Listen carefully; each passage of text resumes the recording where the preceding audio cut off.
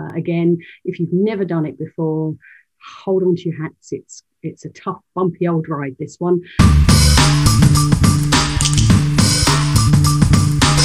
So, welcome, Jane Allen, a director of the International Quizzing Association. Good to have you here. Hello, Gareth. Nice to be here. Thanks for having me. So, coming up really soon, we've got the World Quizzing Championships. It was meant to be in June, and then the pandemic hit and scuppered everything.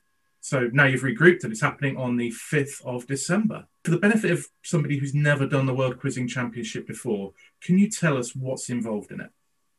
Okay, so it's a very difficult test, the World Championships, um, and it has 240 questions split across eight different genres, categories, if you like.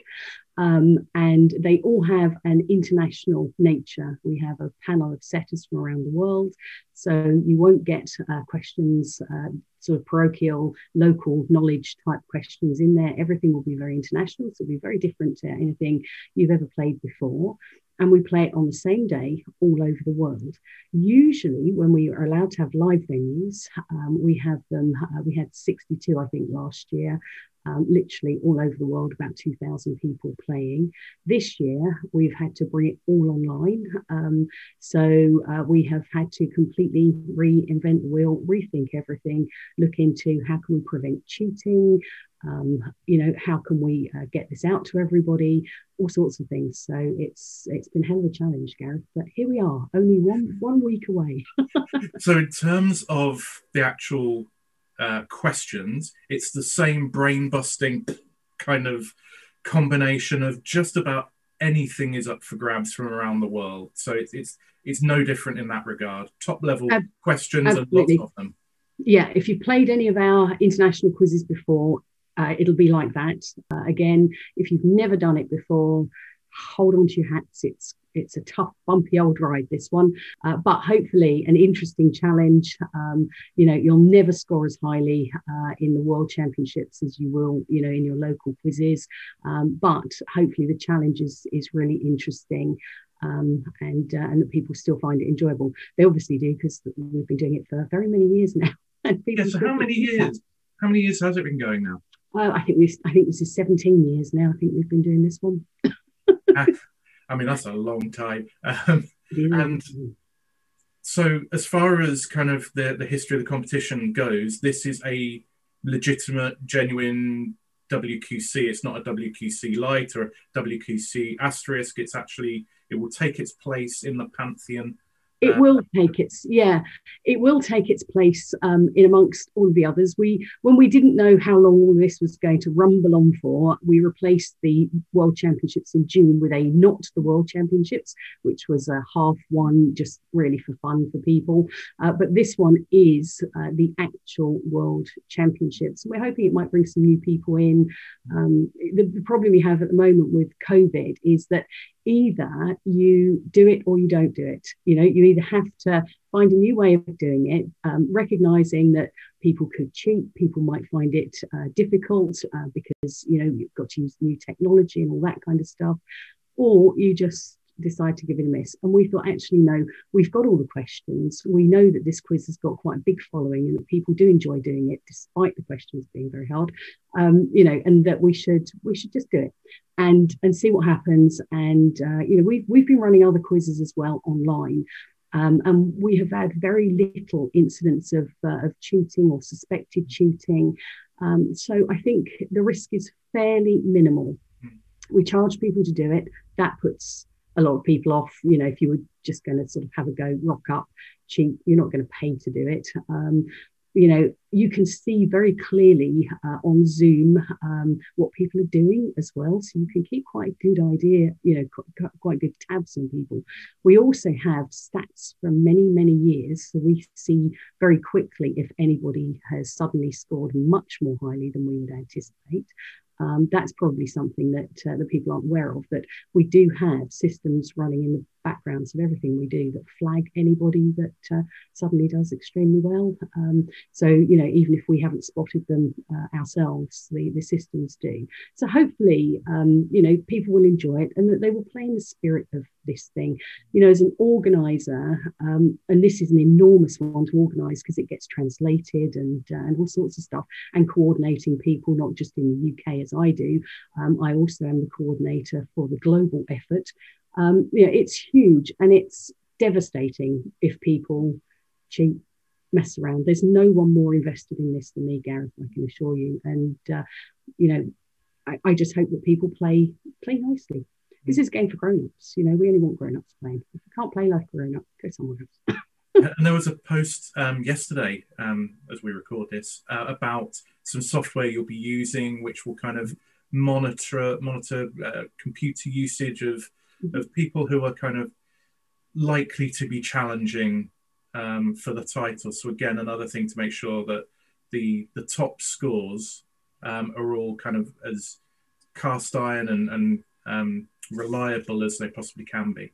Yeah, absolutely. So Stephen's done an excellent job um, in uh, seeking out uh, software for this. So the software we have uh, bought um, can monitor whether or not you have left the screen. So anybody um, who might want to Google something or send a message to somebody, um, it, it will flag that to them. Um, and after a number of times, and I'm not going to tell you how many times, it will throw you out of the test entirely. And that will be uh, that will be your lot. Um, and it also sends your answers straight into us as well. So another uh, point we identified as uh, as being potentially problematic is uh, the uh, between you finishing answering the questions and then marking them that somebody could massage those or you know tweak their answers. They can't uh, with this, um, and we will have um, those people in in Zoom rooms mostly. Um, so that we can watch them and have them sort of in a side room so there's only a few of them um, at any one point as you say so that we can make sure the you know that the winners are genuinely the winners um, and so hopefully we have we've got it as tight as we can Gareth yeah. I'm, I'm sure we have got this thing as as tightly nailed down as we possibly can so you've got everything organized so far in terms of brutal questions brutal but interesting questions put it that way Um, challenging. we go for the word challenging. Challenging. and you've also got the, the kind of security and um, credibility side of things you're dealing with in terms of the um, just making sure that people aren't cheating as far as possible. And you can never completely rule it out. People will always, if they're really determined, find a way. But you've got a lot more in place than you've ever had before. So that's great. So people can have quite a lot of confidence. And people, you know, live events aren't foolproof either. Mm-hmm. You know, it's just different ways of yeah. of people potentially cheating. You know, there there is no way, short of us having one person standing over every person taking part in a quiz, you know, there is no way of absolutely 100% preventing it. But I think we've done as much as we possibly can to prevent um, cheating. And we ask people as well, you know, most people are decent people, Gareth. There's not that many people who would who would cheat because there's nothing to be gained really. A few extra points, is that worth potentially getting caught? And if you get caught, the price for getting caught is that no one will ever play on a quiz team with you again. You'll be completely ostracized. Um, you know, I, I, just don't think it's worth mm. it's worth the risk for, for a few points you know. So if somebody wants to play, it's on the 5th of December. Yeah. Um, depending on where you are in the world, there'll be Zoom rooms. How can people sign up? How much does it cost and how long will it take them to do it?